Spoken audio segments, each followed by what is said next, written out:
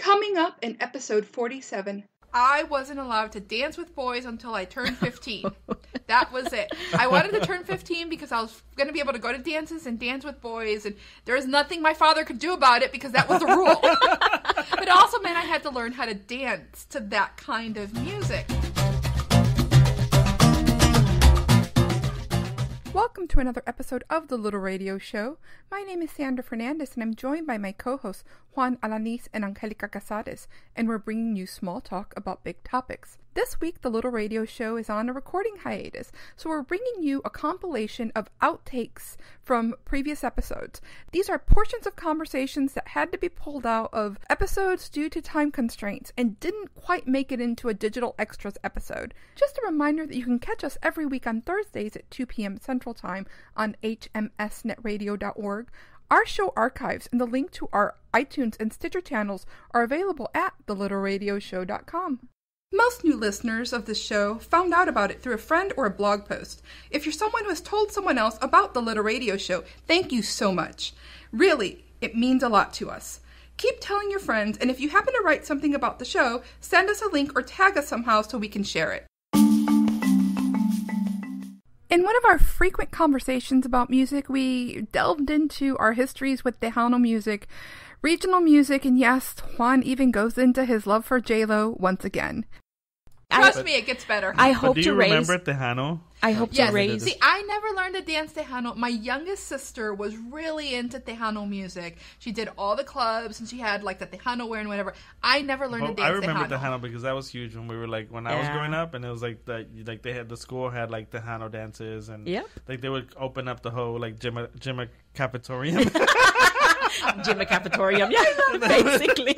and they would move all the tables, and you'd have balloons out, and it was like all like the Emilio Navaira, you know, Mhm. Yeah. Elsa Garcia, Selena, of course. And They had the yeah, and then uh, they would switch into like the bookies and stuff. Yeah. We have a, a, a lot of pictures. And then shortly after that was Quebradita. Like, Like you- Quebra- you would Oh, Ah. see, I never learned go- Quebradita. but. I, I never enjoyed to the it. jaripeos like with my Oh. sisters, and we would see that, and it was Yeah. and it was like, and I would just, I'm still amazed at the way they would throw them up and then catch Oh, them and yeah. then like go under. There's still places da, da, where da. they do where they they do all you know. There's still the Tejano music is still alive and well. It's just Yeah. not as popular Yeah. as it used to be, and, and that kind of stuff. You know when um so uh going back to stuff that you like. My dad was very traditional. Okay. And so I wasn't allowed to dance with boys until I turned 15. that was it. I wanted to turn 15 because I was going to be able to go to dances and dance with boys, and there was nothing my father could do about it because that was the rule.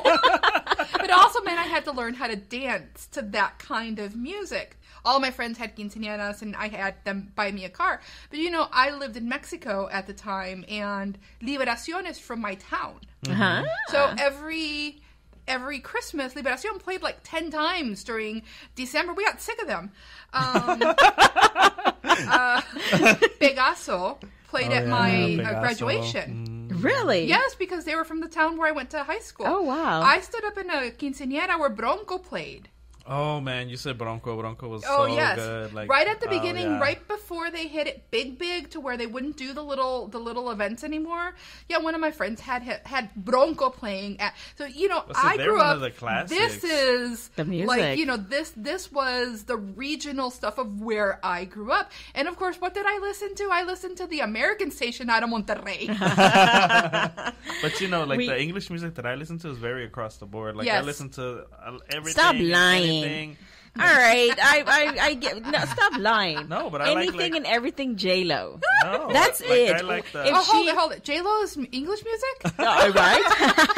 no, I if like. she uh, if she played quebra- quebradita music, you would listen to it. If she well, played that's beside the Noterna, you would listen to But it. That's beside the point. I'm gonna listen to whatever that she does. But, But you. in, in general, like music, I like like I like uh, Gloria Estefan. Like I like um, you know things that are current now. I don't really like a lot of the new music, and, and me and Edgar had go back and forth because I'm like he's like that girl that sings really loud and hits those really high notes and she sounds really bad. Carey. I'm like she's the best singer. Don't leave her alone.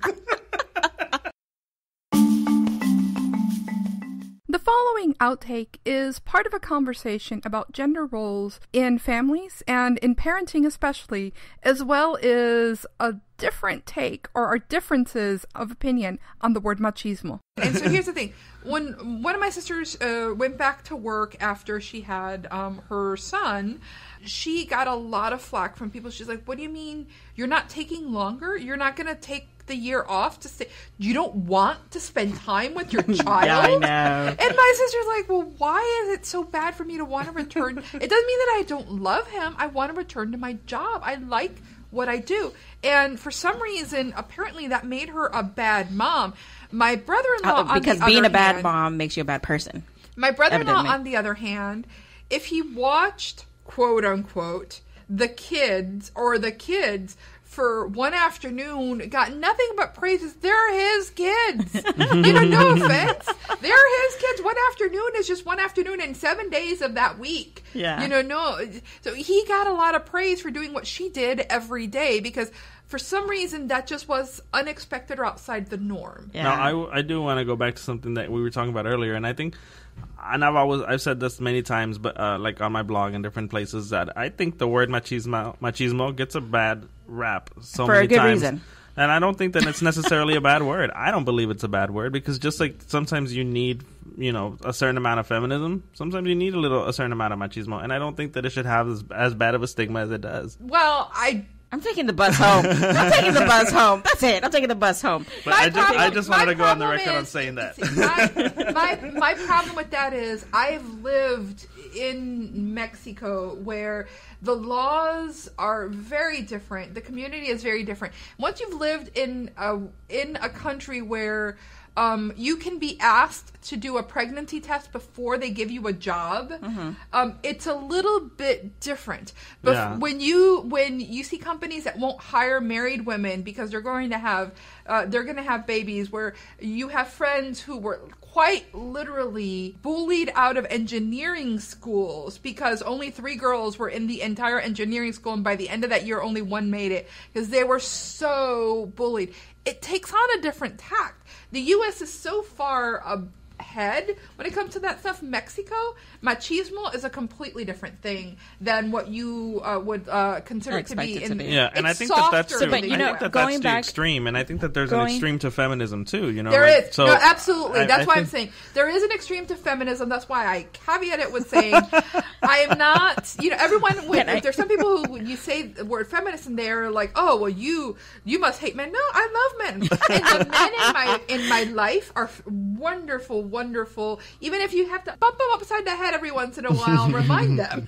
Can I can I go back to the gender roles Okay. really quick? Um, we were talking about raising different, uh, about how we raise different children different Yes. ways, and I I just thought about it. And Edgar, I do raise him to be, you know, because in heart and heart and all, because I was raised around, you know, my Mexican culture.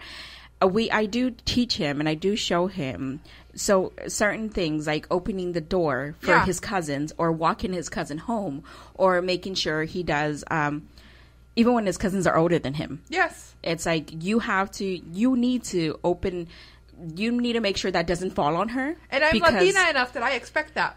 Yeah, you know, and sometimes I'm like, is there is there a double standard that I'm doing there? Is is it? But this is the way I want my son to to view the world. Not be, every woman he sees in front of him. If she is not, he, I don't want him to be like the You knight in shining armor. Yes, yeah, most definitely. As you know, or I want him to be I want him to I want him to be a citizen to where if ever help is needed from a male because males I believe males have that courtesy enough with each other. Like if they can they can see one or the other in need they'll need they'll help each other. But I seen that as growing up I didn't I couldn't I feel like I couldn't do that with males. Like I think some males weren't as open to like helping me. You know say in per se like that I could go and ask for quick assistance or something mm-hmm. I you kind of when you had a flat tire you kind of just stood around it and see watch whoever passed by to help you. But I never like I never find inclined to go and ask somebody ask somebody. And so I want Edgar to feel like I want Edgar to like I guess give that presence. Like you can you can come and ask me for help. So I need him to you know help and usually uh, maybe that's just my upbringing but yes i do maybe i do a double standard where i need him to go and open the There's door and make sure in the in the way you like. There's different expectations, and Yeah. sometimes sometimes it's not subconscious even the things you do because you don't really. Yes. It's just your it's just your culture, what you've grown up with. The following two clips were cut out of an episode earlier this year about the importance of higher education, both four year degrees and technical degrees as well, technical certifications and technical skills. The clip includes a discussion about how the lack of funds can impact a student's ability to take internships during college. Clip number one. So going back, I think we all agree that maybe a four-year degree may not be the most. Uh, and that's for everybody. And that the where, where we when we say a four-year degree for everyone we you know it's not not might not be you know something you're looking for to do. I'm, i think again we need people with trade skills. Of course. many many people with trade skills. And i think Well, uh, reconsider in Houston, especially, uh, we've got a lot of opportunities for people with technical skills in the oil fields in the and- oil yeah, fields, and well, not definitely. just in even the uh, oil even uh, fields. nano degrees and things like that. Yes, Yeah. and there are all sorts of stuff uh, that are available uh, for people with uh, tech with uh, technical certificates and degrees. I know that some people do have their four year degree and they go back and they get those nano skills because it turns out whatever degree they got, they're better at writing. So they need to have a business writing class and Mm-hmm. they get that, that nano degree within a year or whatever. And all of a sudden they're making, they're I mean, I got a so I got a corporate communications degree, and it's what like I don't know how many years, like over a decade since I graduated, and I'm just now like in a field that's corporate communication. Yeah, I'm I am I am really weird. I actually got a job in the thing that I studied and stayed in that field for like 15 years after graduation. After graduation, so uh, yeah, I I understand how weird that is these days. And I, and I, I know my uh, and I would tell my siblings when they were going to school, I was like, you know, don't even worry about you know, like when you go first go into school, like take your basics. Don't even worry about like what you're gonna major in or not, because by the time you get to the point where you can pick a major, your mind's gonna whatever you choose is probably gonna be completely different than what you had originally thought of. Because my degree from when I first went into school and when I actually had to pick a major was completely different, and I was very practical because I was already working somewhere where I was like, oh, well, corporate communications would be a, ne- a, a logical next step, and I- that's how I I d- selected my degree. Clip number two. But yeah. I'd like to go back to what Juan was saying about internships. There's an interesting argument being made about the internships being uh, one of the things that are actually dividing the haves from the have-nots, Mm-hmm. because there are certain degrees that to do a really good internship, they're not all available in your city. Yeah. So if it's talking about taking an internship for summer in another city and they're not paying you any money, your family or someone has to actually pay for your room and board and other expenses for those months.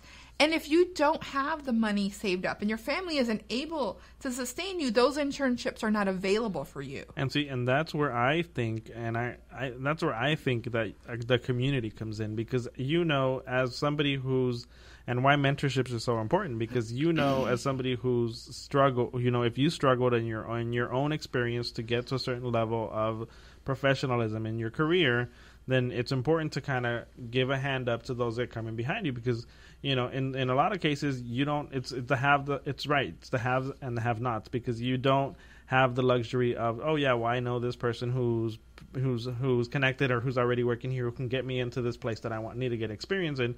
You kind of stumble on those opportunities and you know the, and then from that you kind of you know um, grow and you go into certain areas and you build certain expertises. So I think part of that is when you are in a position to help somebody that maybe you know doesn't not that they don't don't know any better but that they just don't have the background to say you know this is really going to benefit me because of x y and z it's mm-hmm. kind of sometimes you have to connect the dots for them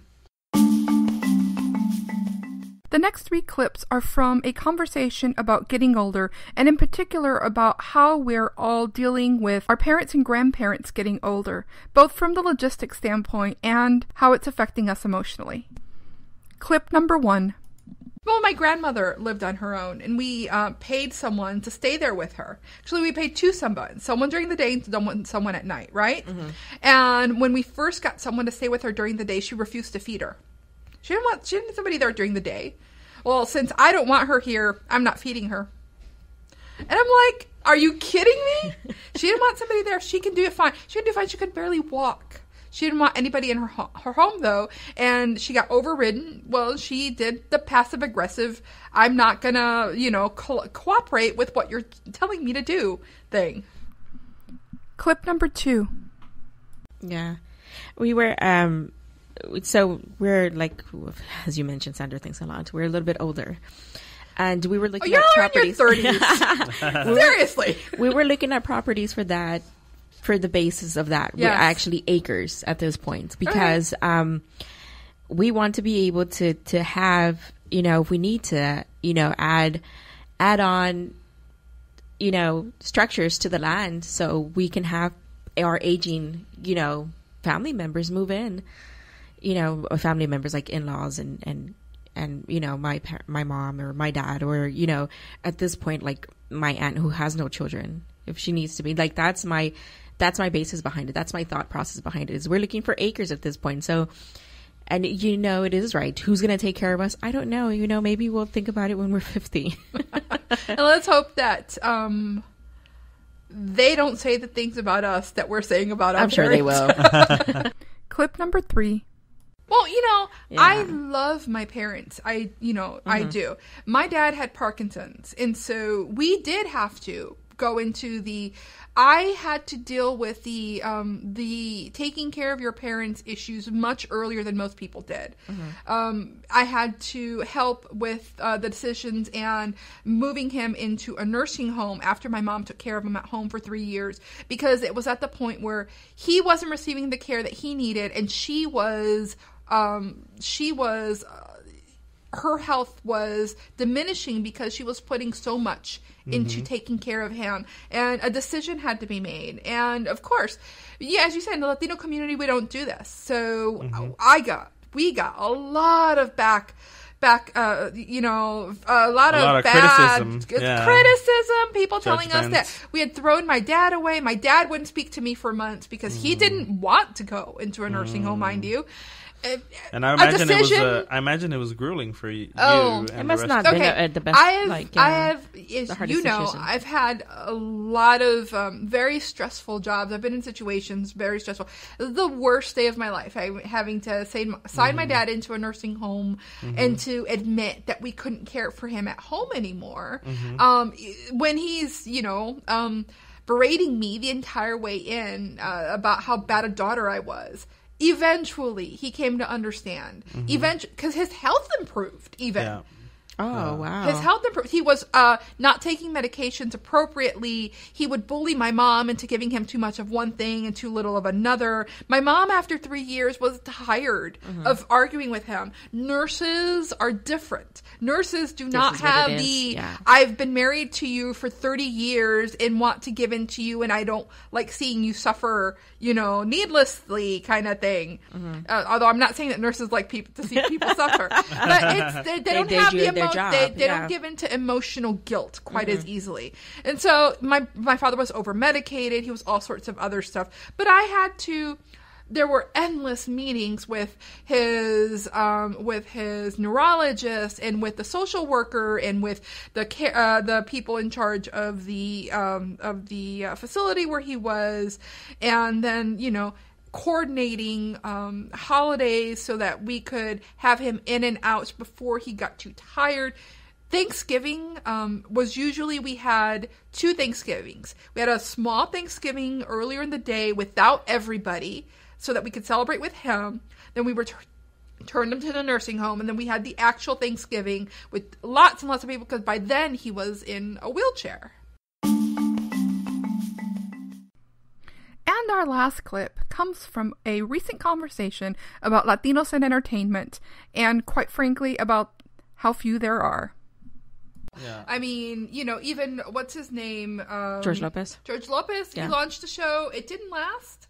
I It, mean, well, it did well I mean, he enough. it did- did well enough for it to had go on for a couple of seasons. I mean, he had a pretty good success with that show, and you know, he I think he probably he made his claim to fame was really that show. No, Not Yeah. the George Lopez show. He had a show that ran Oh, on cable, and I Oh, think yeah, it yeah, only I lasted. yeah. I mean, I think it only lasted um, maybe a year or 2 Mm-hmm. uh, and it didn't really do well. And But The uh, that's the thing. That's the thing. There's there's for being a rea- uh, TV host, or you don't. here's the thing there's an a range of actors and actresses and i think maybe it's going back to the same ones going back to the, because if you have a range of actresses on that side that play more the anglo side and then you have that range of actresses that you play more of the uh, of the african american side and then you have the range of the latinos that play that side too you can't expect them all to fight for one role when you're only doing one show. Like there has to or, be more. yeah. There or, has or to be for, more. For example, and you know, we're hearing a lot of this come out of Hollywood right now Mm-hmm. about how oh, I went to try out for a show and they go, oh, it's not a Latina role, Yeah. and we're like, well, Yeah.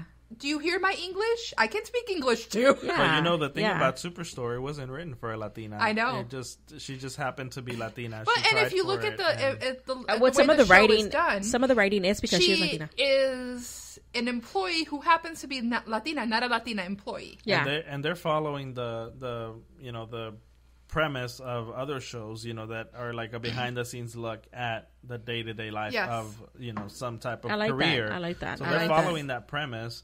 And they're just infusing. They're just putting in a Latina who's you know can carry that role. So, you know. I But here's the thing. Here's what I'm saying. I, I love America Ferrera. Like she, like the woman, the girl knows what she's doing, but she can't play all the roles. Well, no, no And one they're- can they're- play all the roles. Exactly. So there has to be, and it, but it seems so. Wouldn't you think? After watching all the roles that she's been successful in, like Betty La Fea. I mean, it, she did awesome. Well, there's roles that she's not been so successful. that, I mean, like, it- it uh, can Cesar, be- Cesar Chavez. That was the movie. That movie That was, was bad. Everybody was bad in that. I love, you know, I the actors are all fabulous that were in there, and there was something about that movie that I'm like, I want to love this. I really, really want to love Mhm. this movie. Why do I hate it so much? And there've been ro- like there've been roles that I didn't like her in that I just found her annoying. And the same thing with Eva Longoria, like I just didn't really enjoy her in those roles.